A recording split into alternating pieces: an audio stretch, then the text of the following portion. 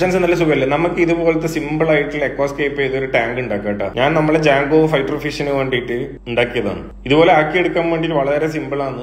ആദ്യം നമുക്ക് വേണ്ടത് ഒരു എക്വേറിയം അതിനുശേഷം എക്കോസ്കേപ്പ് ചെയ്യുന്ന സോയിൽ വാങ്ങിക്കുക. അത് പല ബ്രാൻഡിലും പല റേഞ്ചിലും നമുക്ക് വാങ്ങിക്കാൻ കിട്ടാനുണ്ട്. ഞാൻ ഇതിൽ ഉപയോഗിച്ച സീഡ് ഏതാന്ന് വെച്ച് കഴിഞ്ഞാൽ സ്മോൾ ലീഫ് ഗ്രാസ് എന്ന് പറയുന്ന സീഡാണ് അപ്പൊ സോയിൽ ഇട്ടതിന് ശേഷം എന്താക്കാന്ന് പറഞ്ഞു കഴിഞ്ഞാൽ അത്യാവശ്യം സ്പ്രേ ചെയ്തിട്ട് ആ സോയിൽ ഒന്ന് മോയിസ്റ്റ് ചെയ്തിട്ട് എടുക്കുക. അതിനുശേഷം നമ്മളെ സീഡ് എടുത്തിട്ട് ഒന്ന് എക്വേറിയത്തിലേക്ക് നല്ല രീതിയിൽ ഒന്ന് വിതറി കൊടുക്കുക നമ്മൾ അടുക്കളയിൽ ഉപയോഗിക്കുന്ന ക്ലിംഗ് റാപ്പ് ഇല്ല. അത് ഉപയോഗിച്ചിട്ട് അതിന്റെ മേലെ അങ്ങ് ക്ലോസ് ചെയ്യുക. എന്നിട്ട് എന്താക്ക ചെറിയ ചെറിയ ഹോൾസ് ഇട്ട് കൊടുക്കുക. എന്നിട്ട് അത്യാവശ്യം വെയിൽ കിട്ടുന്ന പോലത്തെ ഒരു സ്ഥലത്ത് കൊണ്ടുപോയിട്ട് വെക്കുക. ഉണക്കാൻ ഇടുന്ന പോലെ വെക്കരുത്.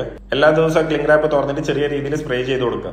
രണ്ട് മൂന്ന് ദിവസത്തിന് ശേഷം നിങ്ങൾക്ക് ഇതുപോലത്തെ റിസൾട്ട് കിട്ടാൻ തുടങ്ങും. സീഡ് ചെറുങ്ങനെ മുളച്ചു തുടങ്ങും.